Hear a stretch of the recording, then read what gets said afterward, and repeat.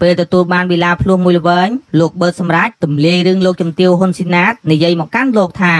នៅក្នុងកម្មវិធីចម្រៀងគ្រួសារខ្មែរកាលពីពេលថ្មីថ្មីកន្លងទៅនេះលោកបឺតសម្រាប់បានទម្លាយថារូបលោកជាកូនប្រុសបង្កើតរបស់លោកតាស៊ីនស៊ីសមុទ្រជាហេតុធ្វើឲ្យមហាជនមានការចាប់អារម្មណ៍ផ្ទុះការវែងញែកប្រងព្រាតតាំងពីពេលនោះមករូបលោកខ្លាចជាទីចាប់អារម្មណ៍សម្រាប់មហាជនហើយត្រូវបានគេសាកសួរជាច្រើនពីប្រវត្តិរបស់លោកក្រោយរូបលោករៀបរាប់ជាបន្តបន្ទាប់នោះឃើញថា ជីវិតរបស់លោកពិតជាតស៊ូកំសត់ខ្លាំងណាស់ហើយលោកក៏ទទួលបានការអាណិតស្រឡាញ់ជាច្រើនពីមហាជនផងដែរជាក់ស្ដែងកាលពីថ្ងៃទី3ខែកក្កដាឆ្នាំ2023កន្លងទៅនេះដោយក្តីអាណិតនិងស្រឡាញ់ចំពោះជីវិតតស៊ូរបស់លោកបឺសម្រាប់នោះលោកអគ្គនាយកបូរី HM Lucky Home បានប្រកាសផ្ដល់កាដូជាវិឡាភ្លោះមួយល្វែងដល់រូបលោកដែលមានទីតាំងនៅភូមិត្រពាំងជ្រៅឃុំសំរោងលើស្រុកអង្គស្នួលខេត្តកណ្ដាលក្រោយពីទទួលដំណឹងដ៏រីករាយខាងលើនេះហើយនៅថ្ងៃទី5ខែកក្កដាឆ្នាំ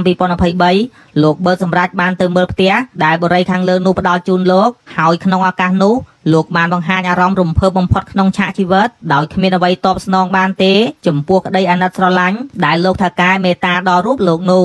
ក្រោយពីលើកដៃសំពះអរគុណនិងជូនពរលោកអគ្គនាយកបរិយខាងលើហើយនោះលោកក៏បានធ្វើការអរគុណចំពោះបុគ្គលិកនិងបងប្អូនប្រជាពលរដ្ឋខ្មែរទាំងអស់ដែលអាណិតស្រឡាញ់ដល់រូបលោកឆ្លើយតបទៅនឹងសំណួរថាតើពេលណាលោកនឹងមកផ្ទះដែលលោកអង្ញាផ្ដល់ជូននោះលោកបឺតសម្រាប់បញ្ជាក់ថា កាន់តែឆាប់កាន់តែល្អដោយសារកូនកូនរបស់លោករាល់ថ្ងៃរស់នៅផ្ទះជួលចំពោះពិធីឡើងផ្ទះនៅពេលលោកយកកូនមកនៅនោះនឹងធ្វើពិធីឡើងតែម្ដងឆ្លើយទៅនឹងសំណួរមួយទៀតថាតើខ្លួនមានអារម្មណ៍បែបណានៅពេលអូស Facebook TikTok ឃើញតែខ្លួននោះលោកបឺសម្រាប់បញ្ជាក់ថា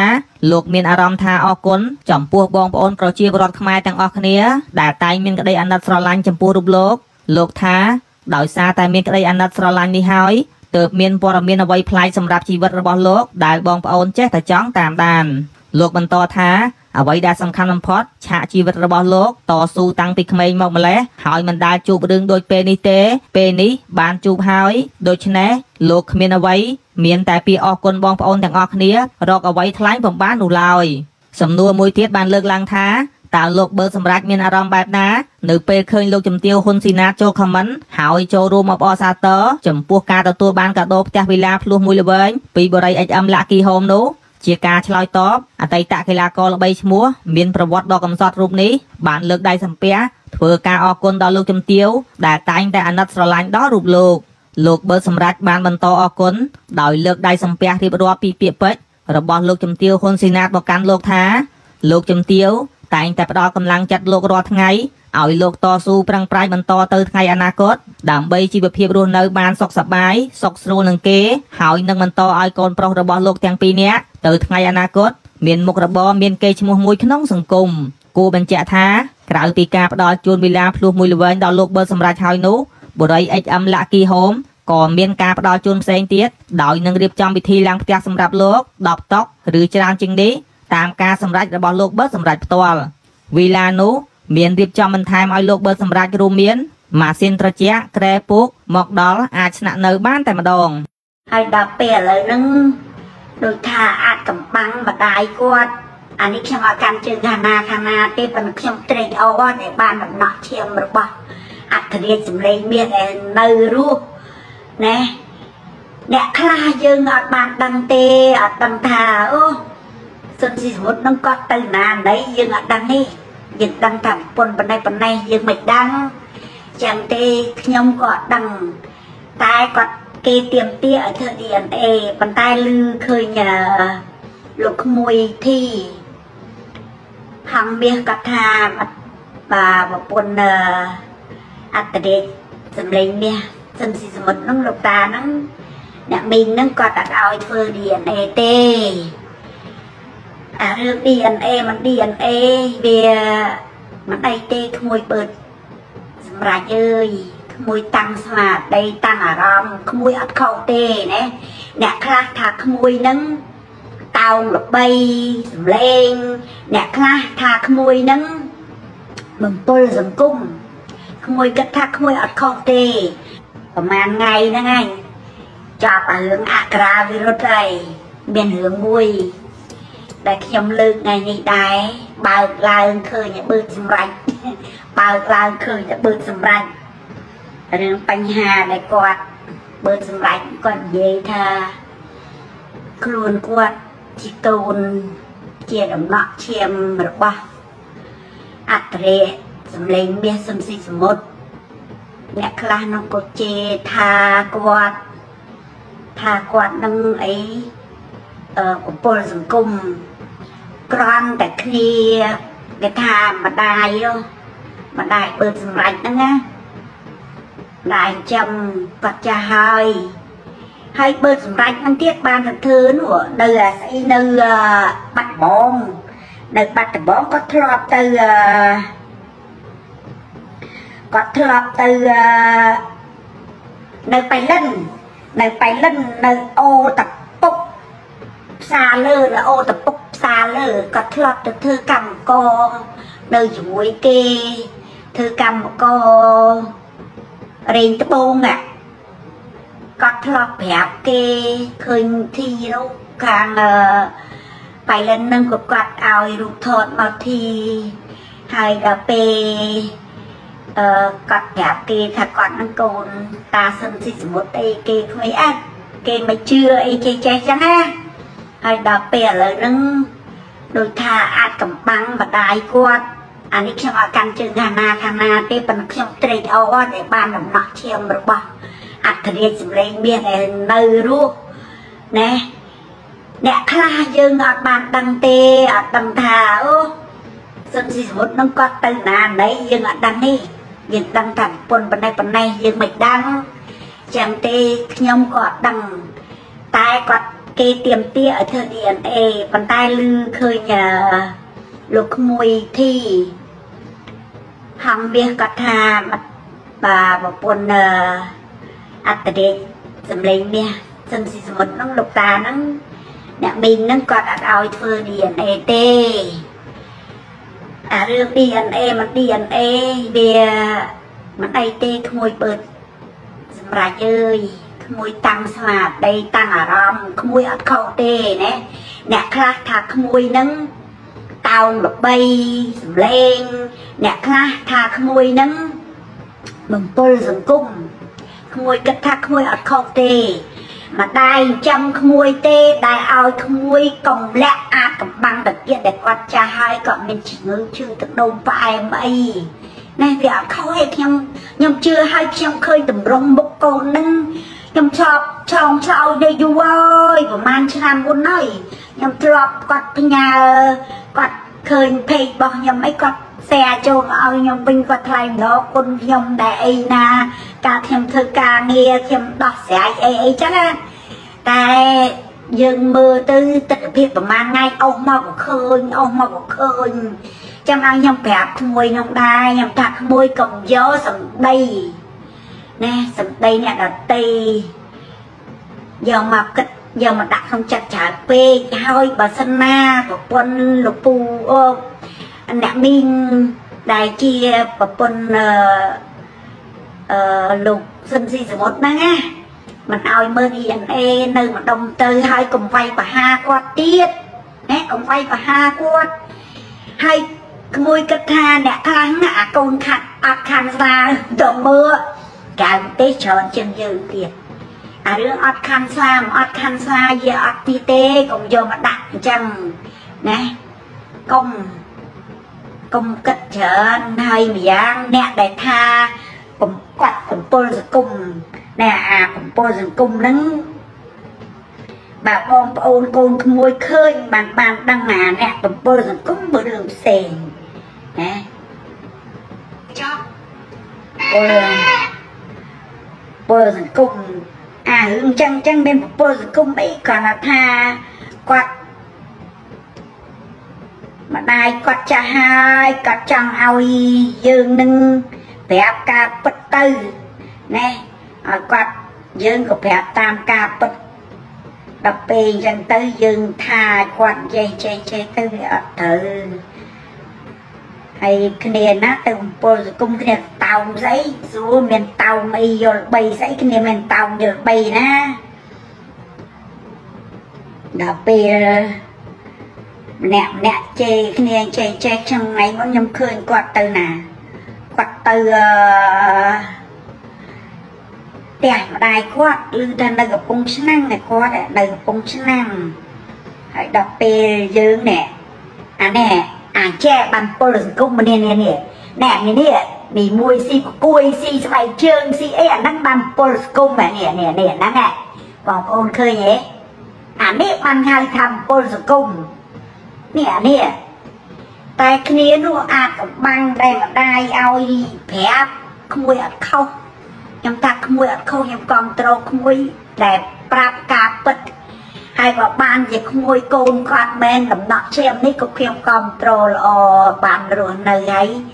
អឺអ្នកប៊ីងប្រពន្ធប្រពន្ធលោកស៊ុនស៊ីសមុទ្រគាត់មិនឲ្យធ្វើ DNA អ្នកប៊ីងអើយអ្នកប៊ីងបើចង់ថាគាត់ធ្វើតិចទៅគុំអីតែអ្នកប៊ីងប៉ុនគាត់ថាគាត់ចាស់ហើយគាត់ចង់អ្វីដែលគាត់ចង់ស្ងប់ស្ងាត់គាត់ចង់ចាប់គេថាធွာអាអីគាត់អញ្ចឹងតែយើង នឹងបងប្អូនខ្លះថាគាត់អំពើសង្គមអីឈប់បានឈប់ទៅលោកអើយណែគ្នាទៅតោងល្បីអីសួរថាគ្នានេះប្រាប់ទៅនេះគ្នាបានដី10ហិកតាមាស5គីឡូលុយ100,000នេះអាហ្នឹងតានេះគ្នានេះអត់ហើយមិនអាយអញ្ចឹងគាត់ចេះឲ្យនិយាយប្រាប់និយាយការពិតចឹងទេយើងនិយាយទៅវាមិនស្អី ហើយអាសូរគ្នាខ្លះអានេះបំពល់សង្គមអានេះតោងអានេះអីហើយនេះមួយមួយមួយនាងនេះនាងនាងនាងស៊ីប្រគួយនេះអាហ្នឹងអាពលសង្គមមកនេះហើយអាស្អីធ្វើអីទៅពាំងអីអីនោះអានោះឃើញក្រសួងវប្បធម៌យកទៅអប់រំនោះត្រូវហើយណែអប់រំខ្លីៗអីតែរឿងអប់រំរឿងតែអាភិសអាភិសអត់គិតស្អី គិតតែយកអាពលសង្គមអាភិសយកមកគ្រាន់តែរឿងទៅពាំងហ្នឹងទៅផ្ដេចផ្ដាស់ហើយរឿងរួចពីមួយមួយទៅមួយអានាងស្អីគេនាងស៊ីអីបើទេនោះនាងបើទេហ្នឹងឃើញខ្ញុំបានជួបរដ្ឋមន្ត្រីក្រសួងកិច្ចការដារីគាត់បានប្រាប់ខ្ញុំថាសាមុនគាត់ហៅទៅម្ដងហើយប៉ុន្តែនាងនឹងដូចជាផ្កើនទៅផ្កើនទៅដូចអត់មានពីណាផែនឌិនស្អីណោះ បាទធ្វើនាងនឹងបានយុទ្ធវៈពុះចេញម្ដងបាទកែសោះកែធ្វើដូចពួកអ្នកតែជីកតពាំងជាមួយតាណានោះចឹងម្ដងទៅហើយខ្ញុំរឿងមួយទៀតអារឿងបញ្ហាបើសម្រេចហ្នឹងខ្ញុំបើសម្រេចហើយក្មួយតាំងស្មារតីណាកំគិតយកពាក្យបឋិជនយកមកយកដាក់ក្នុងចិត្ត ក្មួយតាំងស្មារតីថែម្ដាយក្មួយដែលម្ដាយចិញ្ចឹមមួយទៀតក្មួយខំពង្រឹងណែសំឡេងក្មួយល្អខ្ញុំស្ដាប់នៅក្នុង TikTok ខ្ញុំបើកសំឡេងគ្រូសាខ្មែរហ្នឹងខ្ញុំបើកសំឡេងក៏ល្អទឹកដមសំឡេងក្មួយល្អអញ្ចឹងទេក្មួយប្រាំងបើក្មួយជាមរតកដំណោះឈាមរបស់អត្តរាជសំឡេងមាសក្មួយត្រូវផឹងយកអាហ្នឹងណា ឲ្យគេមើងងាយសិនចោះតែទឹកចុងក្រោយសំឡេងក្មួយកាន់តែល្អហើយគេថាម៉េចកុំយកមកដាក់ក្នុងចិត្តតាំងចិត្តថាថែម្ដាយគាត់ចាស់ដែលគាត់ឲ្យក្មួយបកស្រាយពីរឿងបញ្ហាអាចកំបាំងតាមម្ដាយជាជនជាតិឡាវទៅតាមម្ដាយអានឹង ក្មួយនិយាយតាមម្ដាយចាំគាត់ចង់បានពាក្យនឹងចង់បានឲ្យក្មួយបកស្រាយតន់គាត់នៅភ្នែកភ្លឺអញ្ចឹងណាចឹងទេវាអត់ខុសទេវាអត់ខុសទេក្មួយអើយអត់ខុសទេយើងបំពេញបំណងដែលគាត់ចង់ឲ្យយើងបកស្រាយយើងធ្វើទៅហើយត្រង់ថាអ្នកមីងនៅស្ទឹងត្រែងដែលគាត់មិនឲ្យកូនស្រីគាត់ដែលឈាមដំណក់ឈាមរបស់អត្តរាជសម្លេងនេះសិ នស៊ីសមុទ្រនឹងធ្វើ DNA ជាមួយក្មួយទុកម្ដុំទៅក្មួយកុំកុំកើតទុកច្រើនកុំកើតទុកច្រើន ហើយកុំយកសម្ដីប្រតិជនទាំងអស់យកមកដាក់ក្នុងចិត្តនៅមានមីងក៏ត្រូវក្មួយណែអត់ទៅមើលងាយក្មួយទេទោះបីអត់ខំស្លាមានខំស្លាអត់បញ្ហាអីទេភាកច្រើនណាឥឡូវ ណាអ្នកអត់ខំស្លាណាណាកៅកូនចៅឡើងហៅឲ្យខ្ញុំជួយរកអាអីគេលុយចាំកូនចាំចៅក៏មានដែរប៉ុន្តែគាត់ថាក្មួយចំណាស់នេះហើយក្មួយថែម្ដាយថ្ងៃមុនដូចថាយកម្ដាយទៅទៅថៃឈឺទៅថៃឈឺ ពេលទទួលបានវិឡាភ្លោះមួយល្វែងលោកបឺតសម្រាប់ទម្លាយរឿងលោកជំទាវហ៊ុនស៊ីណាតនិយាយមកកាន់លោកថានៅក្នុងកម្មវិធីចម្រៀងគ្រួសារខ្មែរកាលពីពេលថ្មីថ្មីកន្លងទៅនេះលោកបឺតសម្រាប់បានទម្លាយថារូបលោកជាកូនប្រុសបង្កើតរបស់លោកតាស៊ីនស៊ីសមុទ្រជាហេតុធ្វើឲ្យមហាជនមានការចាប់អារម្មណ៍ផ្ទុះការវែងញែកប្រងព្រាតតាំងពីពេលនោះមករូបលោកខ្លាចជាទីចាប់អារម្មណ៍សម្រាប់មហាជនហើយត្រូវបានគេសាកសួរជាច្រើនពីប្រវត្តិរបស់លោកក្រោយរូបលោករៀបរាប់ជាបន្តបន្ទាប់នោះឃើញថា ជីវិតរបស់លោកពិតជាតស៊ូកំសត់ខ្លាំងណាស់ហើយលោកក៏ទទួលបានការអាណិតស្រឡាញ់ជាច្រើនពីមហាជនផងដែរជាក់ស្ដែងកាលពីថ្ងៃទី3ខែកក្កដាឆ្នាំ2023កន្លងទៅនេះដោយក្តីអាណិតនិងស្រឡាញ់ចំពោះជីវិតតស៊ូរបស់លោកបឺសម្រាប់នោះលោកអគ្គនាយកបូរី HM Lucky Home បានប្រកាសផ្ដល់កាដូជាវិឡាភ្លោះមួយល្វែងដល់រូបលោកដែលមានទីតាំងនៅភូមិត្រពាំងជ្រៅឃុំសំរោងលើស្រុកអង្គស្នួលខេត្តកណ្ដាលក្រោយពីទទួលដំណឹងដ៏រីករាយខាងលើនេះហើយនៅថ្ងៃទី5ខែកក្កដាឆ្នាំ2023លោកបឺសម្រាប់បានទៅមើលផ្ទះដែលបរិយខាងលើនោះផ្ដល់ជូនលោកហើយក្នុងឱកាសនោះលោកបានបង្ហាញអារម្មណ៍រំភើបបំផុតក្នុងឆាកជីវិតដោយគ្មានអ្វីតបស្នងបានទេ ចំពោះក្តីអាណិតស្រឡាញ់ដែលលោកថាកែមេត្តាដល់រូបលោកនោះក្រោយពីលើកដៃសំពះអរគុណនិងជូនពរលោកអគ្គនាយកបរិយខាងលើហើយនោះលោកក៏បានធ្វើការអរគុណចំពោះបុគ្គលិក និងបងប្អូនប្រជាពលរដ្ឋខ្មែរទាំងអស់ដែលអាណិតស្រឡាញ់ដល់រូបលោកឆ្លើយតបទៅនឹងសំណួរថាតើពេលណាលោកនឹងមកផ្ទះដែលលោកអង្ញាផ្ដល់ជូននោះលោកបើសម្រាប់បញ្ជាក់ថាកាន់តែឆាប់កាន់តែល្អដោយសារកូនកូនរបស់លោករាល់ថ្ងៃរស់នៅផ្ទះជួលចំពោះពិធីឡើងផ្ទះនៅពេលលោកយកកូនមកនៅនោះនឹងធ្វើពិធីឡើងតែម្ដងឆ្លើយទៅនឹងសំណួរមួយទៀតថាតើខ្លួនមានអារម្មណ៍បែបណា នៅពេលអូស Facebook TikTok ឃើញតែខ្លួននោះ លោកបើសម្រាប់បញ្ជាក់ថាលោកមានអារម្មណ៍ថាអរគុណចំពោះបងប្អូនប្រជាពលរដ្ឋខ្មែរទាំងអស់គ្នាដែលតែងមានក្តីអាណិតស្រឡាញ់ចំពោះរូបលោកលោកថាដោយសារតែមានក្តីអាណិតស្រឡាញ់នេះហើយទើបមានព័ត៌មានអ្វីប្លែកសម្រាប់ជីវិតរបស់លោកដែលបងប្អូនចេះតែចង់តាមដាន លោកបន្តថាអ្វីដែលសំខាន់បំផុតឆាកជីវិតរបស់លោកតស៊ូតាំងពីក្មេងមកម្លេះហើយមិនដែលជួបរឿងដូចពេលនេះទេ ពេលនេះបានជួបហើយដូច្នេះលោកគ្មានអ្វីមានតែពីអរគុណបងប្អូនទាំងអស់គ្នារកអ្វីថ្លែងបំបាននោះឡើយ